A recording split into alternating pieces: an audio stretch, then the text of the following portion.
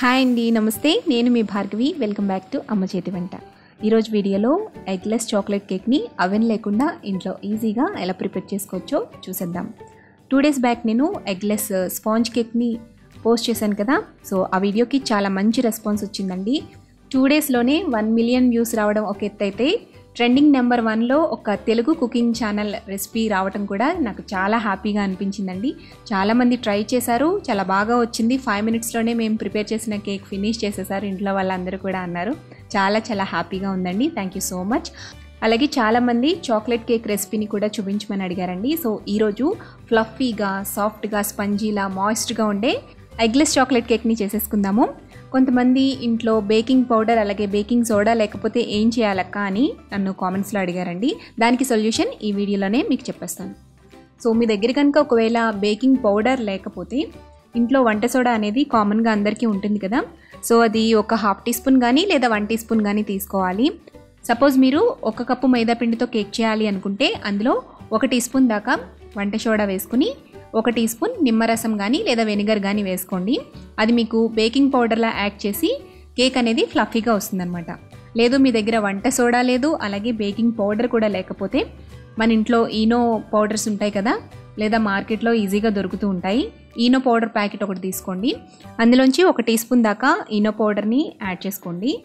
తర్వాత అందులోనే ఒక టీ స్పూన్ పాలని యాడ్ చేసుకోండి. కాగుపెట్టి చల్లారి పెట్టుకున్న పాలని అందులో వేసామనుకోండి అందులో నురుగు కింద వచ్చి అది బేకింగ్ పౌడర్లా యాక్ట్ చేస్తుంది అనమాట సో మీరు మీ అవైలబిలిటీని బట్టి అంటే బేకింగ్ పౌడర్ లేకపోతే వంట సోడాని కానీ లేదంటే ఈనో పౌడర్ని కానీ ఇలా యూస్ చేసుకోండి.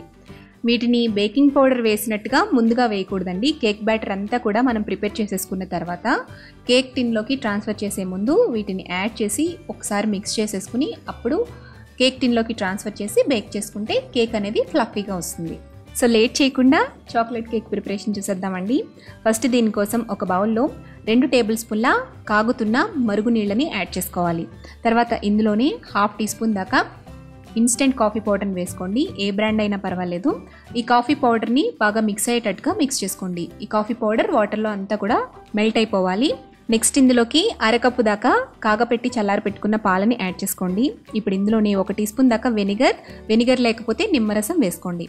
సో ఇప్పుడు వీటిని ఒకసారి మిక్స్ చేసుకుని ఒక పది నుండి పదిహేను నిమిషాల పాటు పక్కన పెట్టేద్దామండి. ఎగ్లెస్ చాక్లెట్ కేక్ కాబట్టి కొంతమంది పెరుగుని ఇష్టపడరు కదా. సో పెరుగుకి బదులుగా ఈ ప్రాసెస్ చేస్తున్నాము. లేదు మీరు పెరుగుని యూజ్ చేసుకోవాలి అనుకుంటే ఈ పాలు ఇంకా నిమ్మరసానికి బదులుగా పెరుగుని కూడా యూజ్ చేసుకోవచ్చు. ఒక టెన్ మినిట్స్ తర్వాత ఈ పాలు అనేవి లైట్గా విరగడం స్టార్ట్ అవుతుందనమాట సో అప్పుడు మళ్ళీ తిరిగి ఒకసారి మిక్స్ చేసుకుని ఇందులోకి అరకప్పు దాకా షుగర్ని యాడ్ చేసుకోవాలండి. తర్వాత ఇందులోనే పావు కప్పు దాకా ఆయిల్ని కానీ లేదా బటర్ని కానీ వేసుకోండి. అలాగే పావు టీ స్పూన్ వెన్నీలా ఎసెన్స్ వేసుకోండి. ఎసెన్స్ లేకపోతే ఎసెన్స్ని అవాయిడ్ చేసేయచ్చు. వీటి మొత్తాన్ని కూడా ఒక మిక్సీ జార్లోకి ట్రాన్స్ఫర్ చేసుకుని స్మూత్ టెక్స్చర్ వచ్చేంత వరకు కూడా బాగా బ్లెండ్ చేసుకోవాలి. లేదు మీ దగ్గర హ్యాండ్ బ్లెండర్ ఉంటే ఆ బీటర్ని కానీ బ్లెండర్ని కానీ వాడుకోవచ్చు.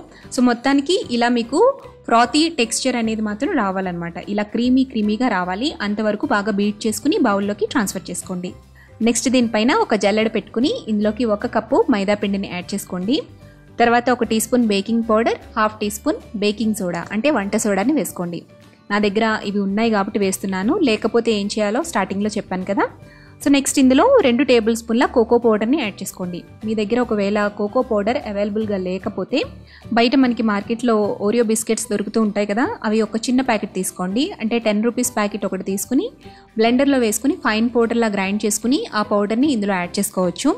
ఓరియో బిస్కెట్స్లో డార్క్ చాక్లెట్ కంటెంట్ ఎక్కువగా ఉంటుంది కాబట్టి ఆ పౌడర్ మనకి చాక్లెట్ పౌడర్ లాగా యూజ్ అవుతుందన్నమాట.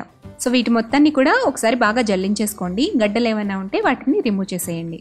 నెక్స్ట్ వీటి మొత్తాన్ని కూడా బాగా మిక్స్ చేసుకోండి. ఇలా స్పాచులాతో కట్ అండ్ ఫోల్డ్ మెథడ్లో బాగా కలుపుకోండి.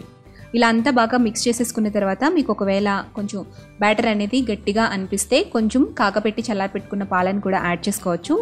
ఇలా యాడ్ చేసుకుంటూ మిక్స్ చేసుకుని కేక్ బ్యాటర్ని ఈ కన్సిస్టెన్సీ వచ్చే విధంగా ప్రిపేర్ చేసుకుని పక్కన పెట్టుకోండి. ఇప్పుడు బేకింగ్ కోసం మీ ఇంట్లో ఉండే ఏదో ఒక బౌల్ని తీసుకోండి. బౌల్లో కొంచెం ఆయిల్ని కానీ లేదా బటర్ని కానీ అప్లై చేసి కొంచెం మైదా పిండిని కూడా డస్ట్ చేసుకుని గిన్నె మొత్తానికి కూడా ఇలా స్ప్రెడ్ చేసుకోండి. లేదా మీ ఇంట్లో బటర్ పేపర్ ఉంటే బటర్ పేపర్ని కూడా యూస్ చేసుకోవచ్చు. ఇలా బ్యాటర్ని బౌల్లోకి ట్రాన్స్ఫర్ చేసిన తర్వాత ఒక రెండు మూడు సార్లు ట్యాప్ చేసుకుని పక్కన పెట్టుకోండి. ఇప్పుడు స్టవ్ మీద బేకింగ్ కోసం ఒక లోతుగా ఉండే గిన్నెను పెట్టుకుని స్టాండ్ పెట్టుకుని మూత పెట్టి ఒక ఐదు నిమిషాల పాటు ప్రీహీట్ చేసుకోండి. తర్వాత మూత తీసి సెంటర్లోకి మనం అరేంజ్ చేసుకున్న బేకింగ్ ట్రైన్ పెట్టుకోవాలి. నెక్స్ట్ దీనిపైన ఒక చిన్న మూతను పెట్టి ఆ తర్వాత లెడ్ని క్లోజ్ చేయండి. ఇలా చేయటం వల్ల కేక్ అనేది త్వరగా బేక్ అవుతుంది. అలాగే మంచి కలర్ కూడా వస్తుందన్నమాట. అంటే మీరు స్పాంజ్ కేక్ చేస్తున్నారనుకోండి ఆ ప్రాసెస్లో కూడా ఇలా పైన ఒక చిన్న మూత పెట్టారంటే ఆ స్పాంజ్ కేక్ అనేది పైన కూడా ఈవెన్గా మంచి గోల్డెన్ కలర్ వస్తుంది.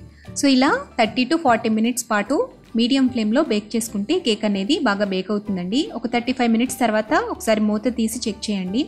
మీరు కేక్ ఎప్పుడు చెక్ చేసినా కూడా సెంటర్లో నైఫ్ పెట్టి చెక్ చేయాలి.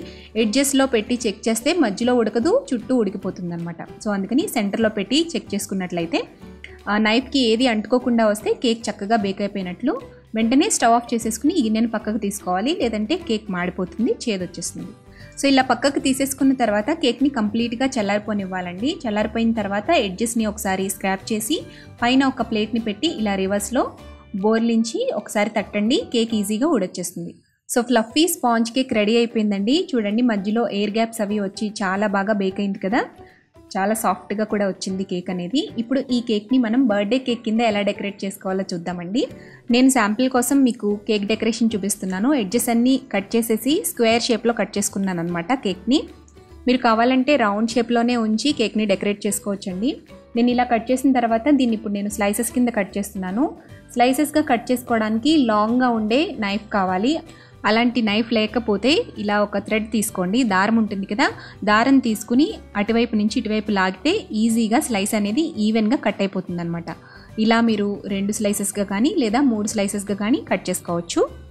కట్ చేసుకున్న స్లైసెస్ మీద లోపల వైపుగా కొంచెం షుగర్ సిరప్ని అప్లై చేసుకోవాలి. ఈ షుగర్ సిరప్ తయారు చేయడం పెద్ద కష్టమేం కాదండి. జస్ట్ స్టవ్ మీద ఒక గిన్నె పెట్టి మీరు ఎంత షుగర్ సిరప్ చేసుకోవాలి అనుకుంటున్నారో దాన్ని బట్టి వన్ ఈస్ టు టూ అంటే ఒకటి షుగర్ వేస్తే రెండు వాటర్ వేసి షుగర్ అంతా కరిగేంత వరకు ఉంచి ఆ తర్వాత ఈ షుగర్ సిరప్ని కేక్కి అప్లై చేయొచ్చు.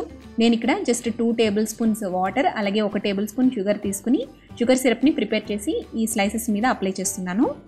షుగర్ సిరప్ని అప్లై చేసిన తర్వాత దీనిపైన కొంచెం చాక్లెట్ స్ప్రెడ్ని ఈవెన్గా స్ప్రెడ్ చేస్తున్నానండి. మీ దగ్గర చాక్లెట్ స్ప్రెడ్ కనుక లేకపోతే షుగర్ సిరప్ని కూడా అప్లై చేసుకోవచ్చు. హర్షీస్ షుగర్ సిరప్ ఉంటుంది కదా సో దాన్ని కూడా అప్లై చేసుకోవచ్చు.